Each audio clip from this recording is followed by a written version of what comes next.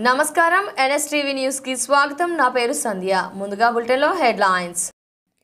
కర్నూలు జిల్లా ఆలమూరు పోలీస్ స్టేషన్లో పనిచేసే ఒక కానిస్టేబుల్కు కరోనా పాజిటివ్గా తేలింది.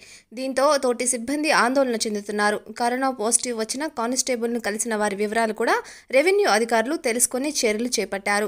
కానిస్టేబుల్తో పాటు కుటుంబ సభ్యులను కర్నూలు కోవిడ్ నైన్టీన్ చికిత్స సెంటర్కు ప్రత్యేక అంబులెన్స్లో తరలించారు.